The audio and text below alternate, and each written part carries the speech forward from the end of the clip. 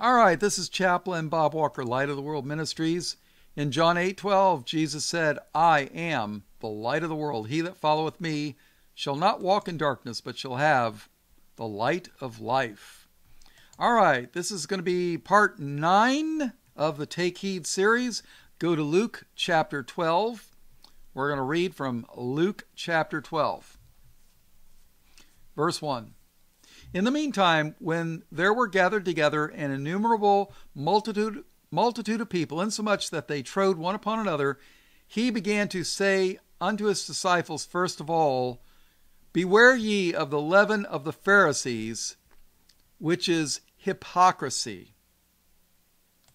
Now, if you don't know what leaven is, in Matthew 16 12, says, Then understood they how that he bade them not beware of the leaven of bread, but of the doctrine of the Pharisees and of the Sadducees. Now, if you don't know what a Pharisee is, a Pharisee is a Jew. And the Sadducees were Jews too, but the Sadducees really don't exist anymore because they were uh, the temple, the people that did all the rituals in the temple. And since there's no more temple, well, that's it. All right, so beware ye of the leaven of the Pharisees, which is hypocrisy. You could say the same thing today. Beware the leaven of the Jews, which is hypocrisy. Verse 2 For there is nothing covered that shall not be revealed, neither hid that shall not be known.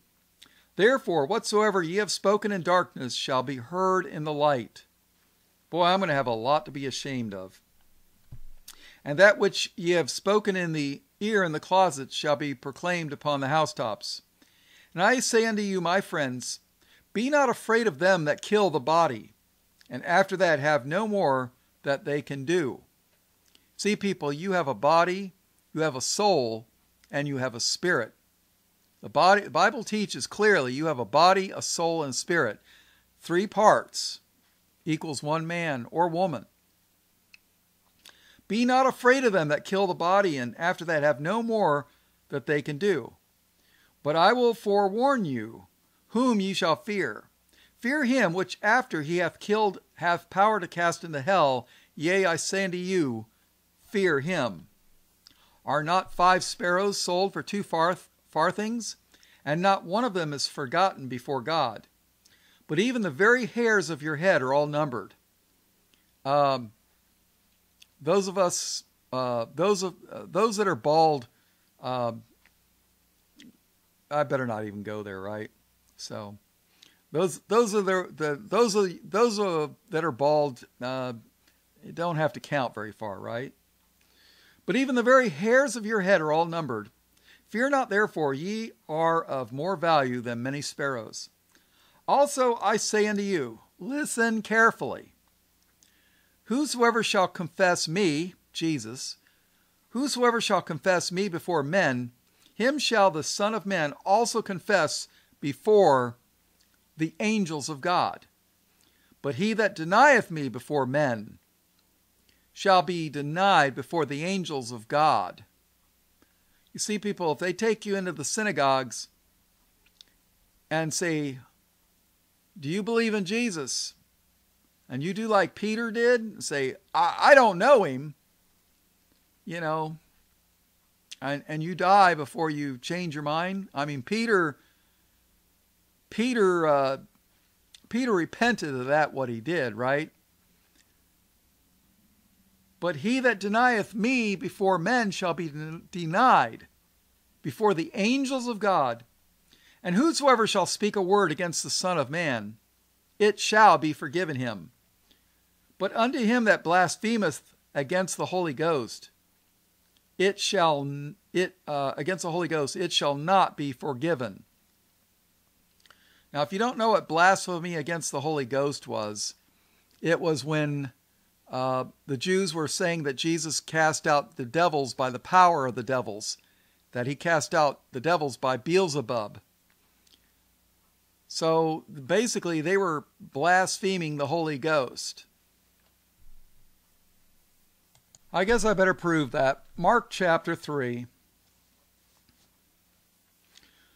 All right, uh, Mark 3 and verse 22. And the scribes which came down from Jerusalem said, Now, what's a scribe? The scribes were the copyists of the, the scriptures. They were experts in Hebrew language and they would copy the scriptures.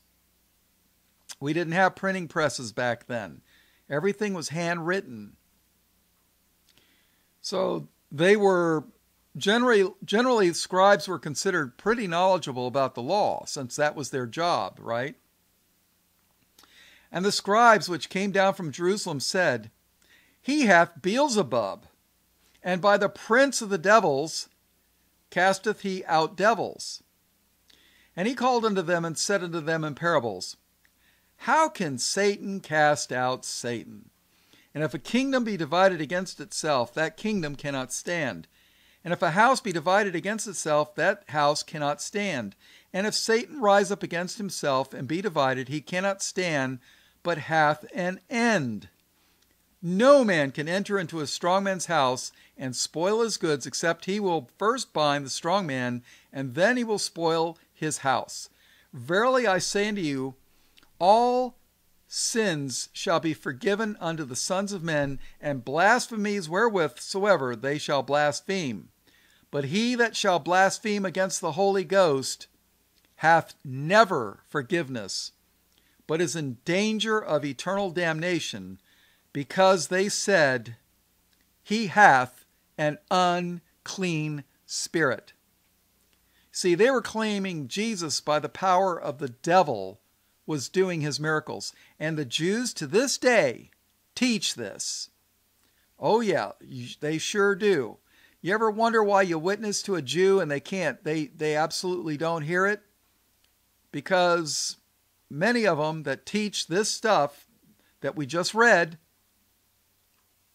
they've, they've blasphemed the Holy Ghost. They will never have forgiveness. Never. God has hardened their heart and they're, that's it. It's over. Now, I'm not saying all of them, but all the ones that teach this, they're toast. They're going to be crispy critters.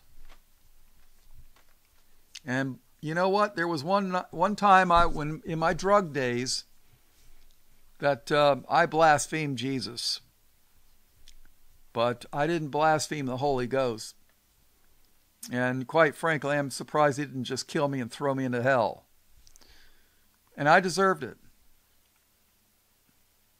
Luke 12, verse 8. And I say unto you, whosoever shall confess me before men, him shall the Son of Man also confess before the angels of God. But he that denieth me before men shall be denied before the angels of God. And whosoever shall speak a word against the Son of Man, it shall be forgiven him. But unto him that blasphemeth against the Holy Ghost, it shall not be forgiven. Listen carefully. And when they bring you unto the synagogues, now who hangs out in the synagogues? Take a guess. And when they bring you unto the synagogues and unto magistrates and powers, take ye no thought how or what thing ye shall answer or what ye shall say. For the Holy Ghost shall teach you in the same hour what ye ought to say. So, if you're brought into the synagogue and you're going to get your head cut off or killed, don't think about what you're going to say. The Holy Spirit will tell you what to say.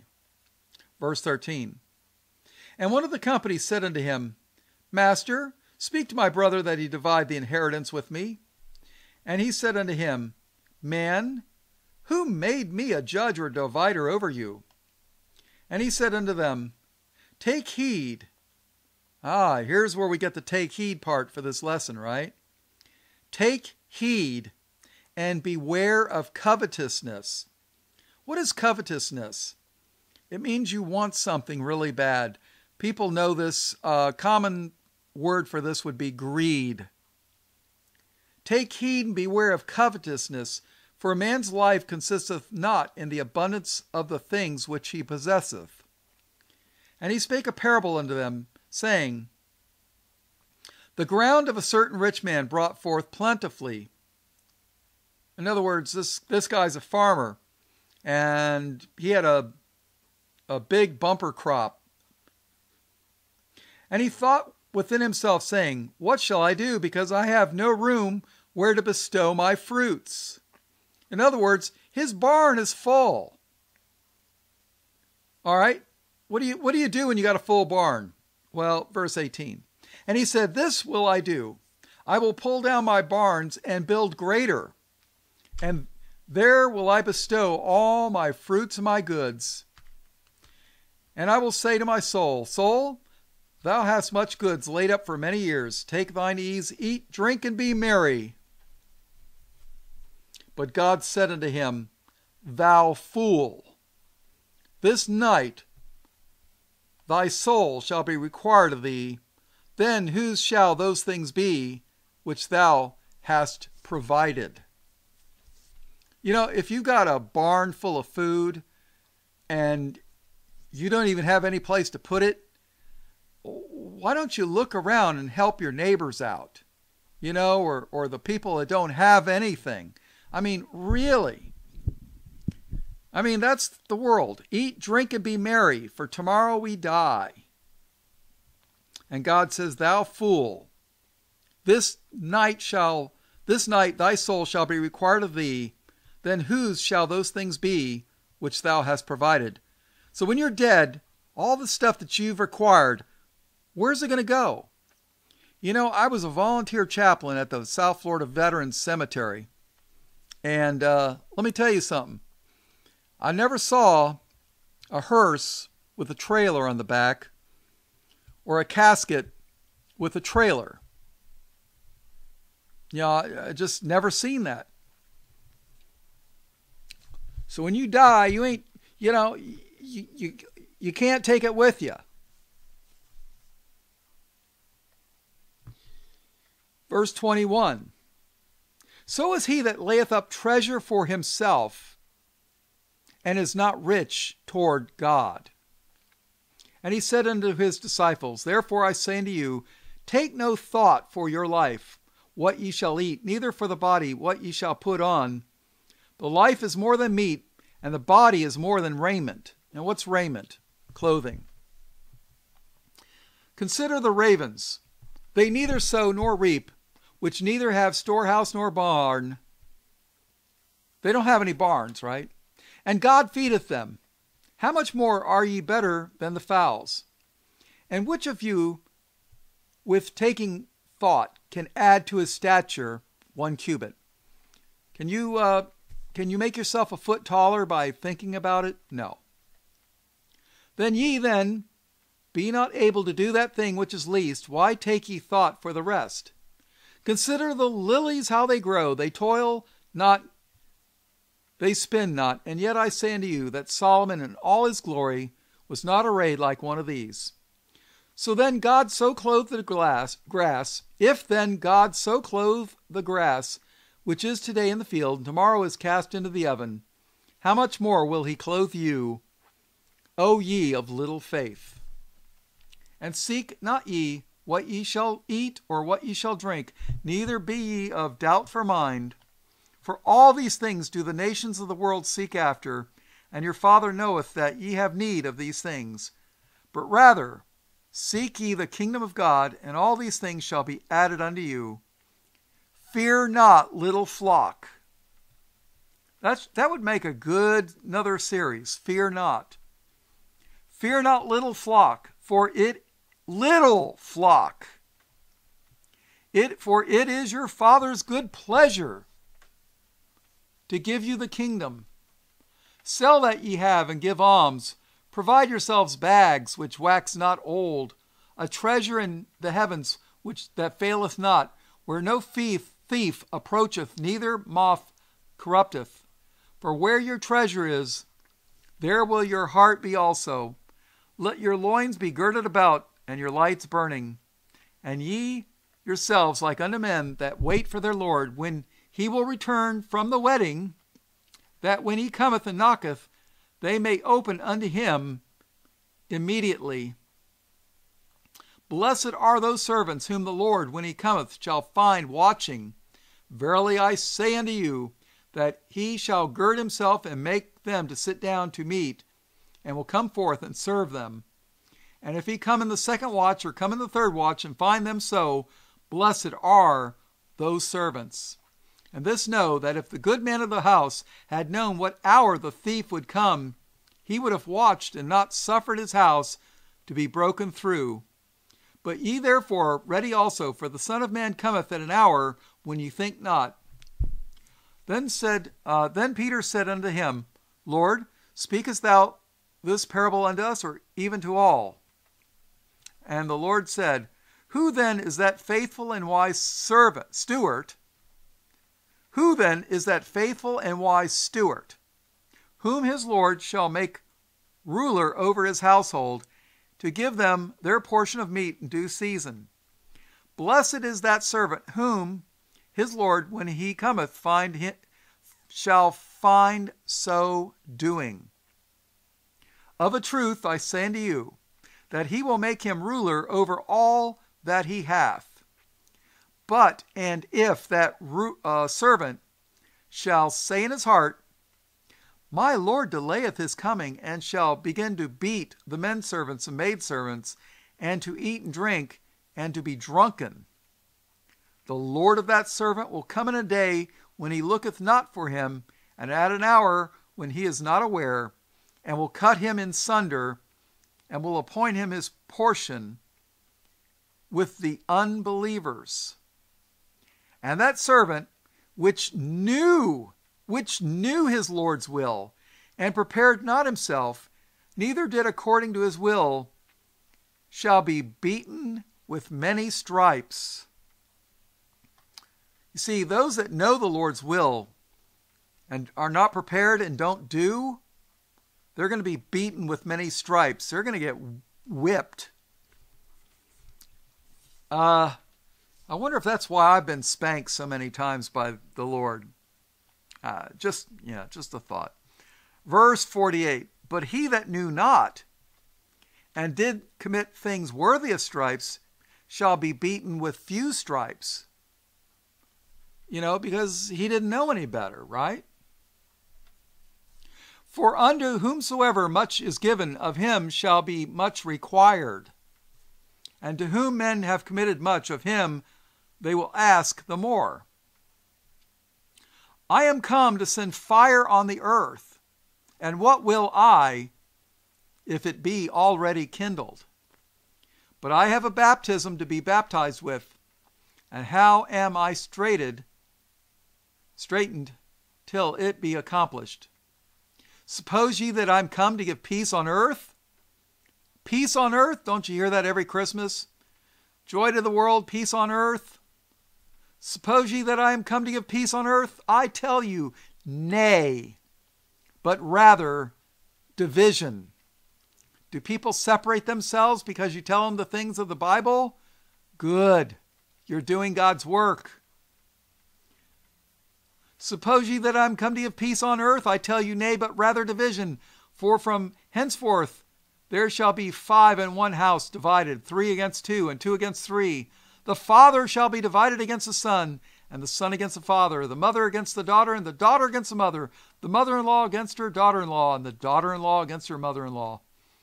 And he said also to the people, When ye see a cloud rise out of the west, straightway ye say, There cometh a shower and so it is. And when you see the south wind blow, ye say, There will be heat, and it cometh to pass. Ye hypocrites!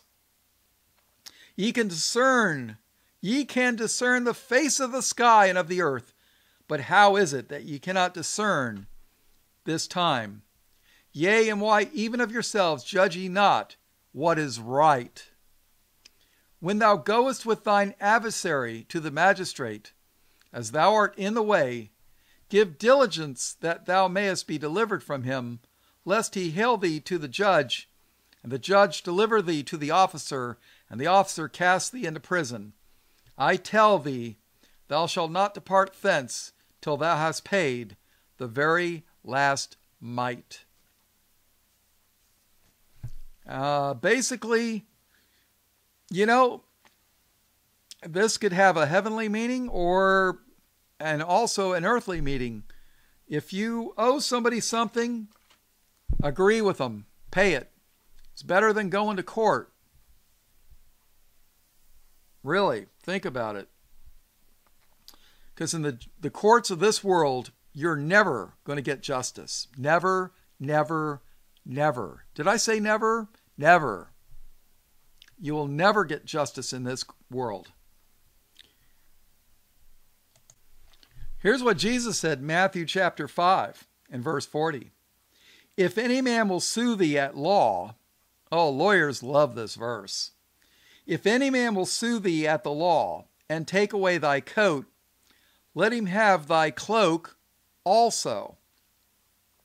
Uh, cloak was something like a, it's sort of like a cape, and uh, it, it's like a blanket. So if somebody's suing you for your coat, give him the coat and your cloak. You know, that's what Jesus said. If they if they want something you got that badly, give it to them. So, uh, some people say that's the lawyer's favorite verse in the Bible. All right, let's go back to Mark chapter 3. Uh, we just read in verse 30, it said, Because they said he hath an unclean spirit. But in verse 31, there came then his brethren and his mother, and standing without, sent unto him, calling him. And the multitude said about him, and they said unto him, Behold, thy mother and thy brethren without seek for thee. And he answered them, saying, Who is my mother or my brethren? And he looked round about on them which sat about him, and said, Behold, my mother and my brethren. For whosoever shall do the will of God, the same is my brother and my sister and my mother. Think about that. All right, well, this is Chaplain Bob, Light of the World Ministries. In John 8 12, Jesus said, I am the light of the world. He that followeth me shall not walk in darkness, but shall have the light of life.